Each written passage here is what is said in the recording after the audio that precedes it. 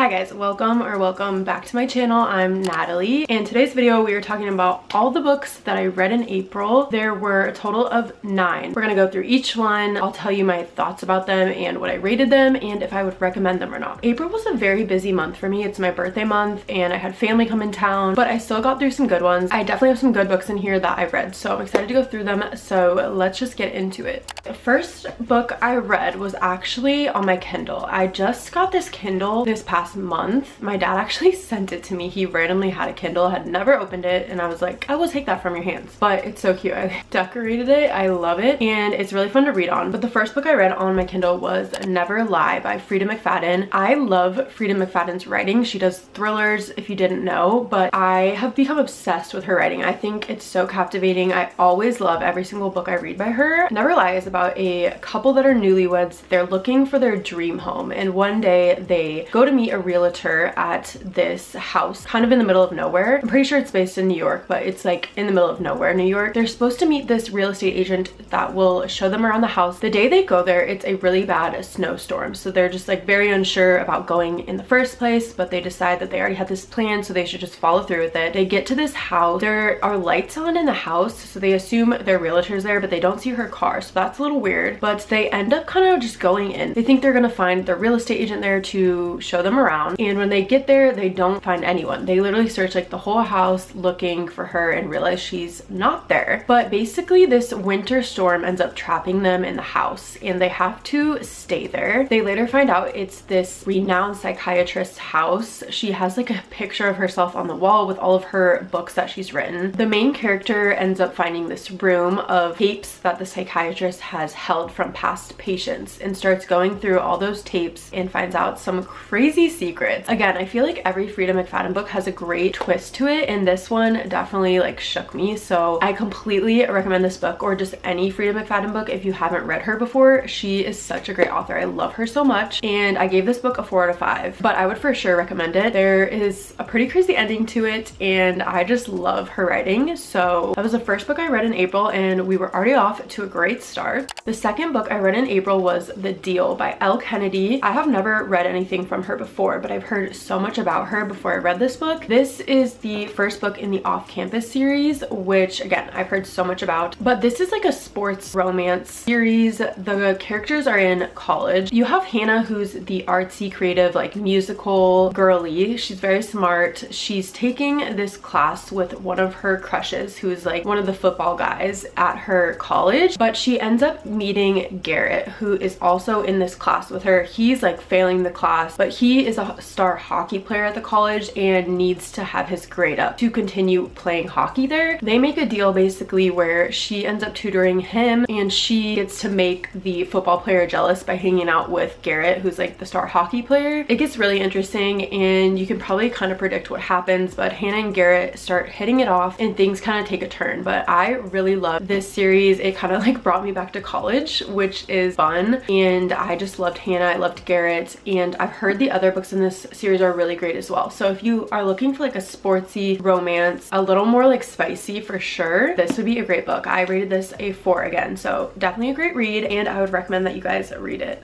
The third book I read in April was A Court of Thorns and Roses. If you didn't see my reading viral books for a week, this was a part of that and so was this last one. I had been putting ACOTAR off for so long because again, like I'm always scared to read hyped up books in fear that I won't like them as much as everyone else does, but I have had this for like quite a long time. So I was like, I just need to knock it out, become a fantasy girly and get in my fantasy era. So that's exactly what I did. I loved this book so, so much. I had never read a fantasy book before I read this one and it was so amazing. I loved the world of Prythian that they were in. I loved the characters and I just loved the whole story leading up to it. I'm looking forward to reading the other books in this series because I heard it gets better along the way, but I honestly gave this book a five out of five stars. I think it's because it was a whole nother world to me, a whole new experience, and I just really fell into it, fell into the world of it, and it kind of like took me over in the best way possible. Definitely recommend reading this if you have never read fantasy before, especially I think this is a good one to start with. It's really good at explaining the whole world. I didn't think it was confusing or anything like that, so I would completely recommend this if you are looking to start your fantasy era.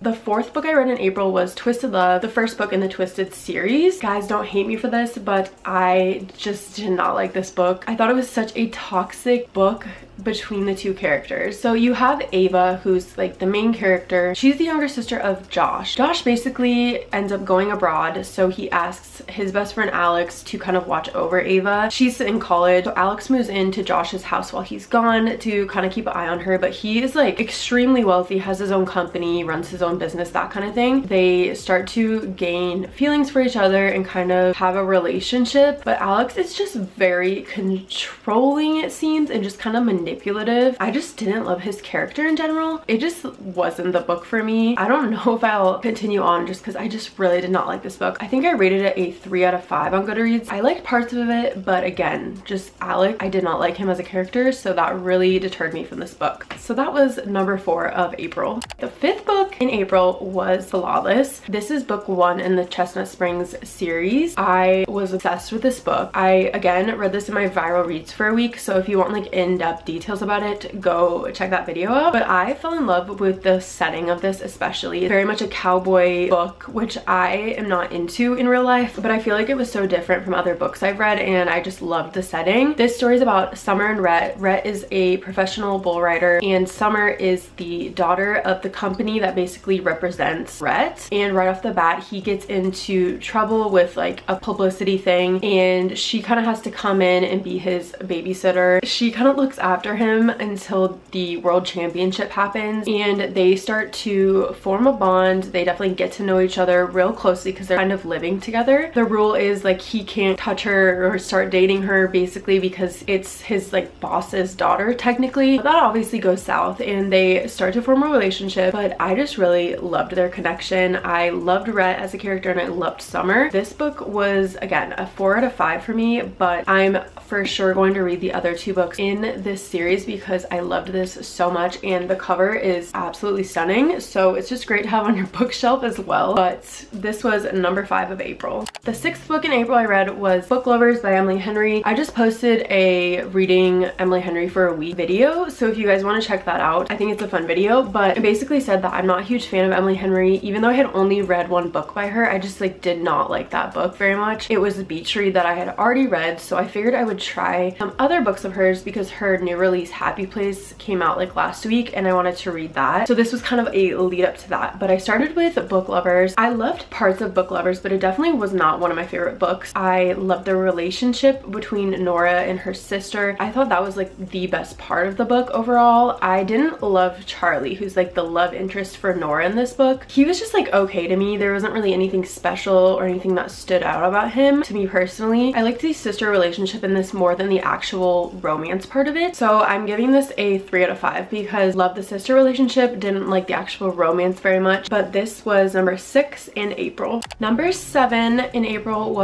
People We Meet on Vacation, and this is where things took a turn for me with Emily Henry. My goal was obviously to see if I were to like her books by the end of the week, and I really, really liked People We Meet on Vacation. I know this isn't everyone's favorite Emily Henry book, but I really enjoyed this one. This is a book about Poppy and Alex. They met in college through a rideshare and had been friends ever since basically. They took vacations every single summer. It was like something they always looked forward to. They always went to a new location until they kind of stopped talking. And I think it had been like around two years before Poppy reached out to Alex kind of accidentally through a text and they kind of met up again. They decided to try to work things out with their friendship, which they ended up doing. And then they end up forming a relationship, which I really liked. I thought it was a slow buildup, but like a really good buildup with a lot of details leading to like how they felt about each other, which I really enjoyed. I know some people didn't like that. I gave it a four out of five and I definitely recommend it. Number eight in April was Happy Place, again by Emily Henry. This was the last Emily Henry book I read of the week and it was her new release that just came out last week. So I know a lot of people kind of hopped on this. This book is basically about a group of friends. They kind of met in college. They gained like a group of six of them eventually through like significant others and that. Every summer they meet up at one of their friends' lake cottage house kind of thing. It's actually like a grand house, like she's pretty rich,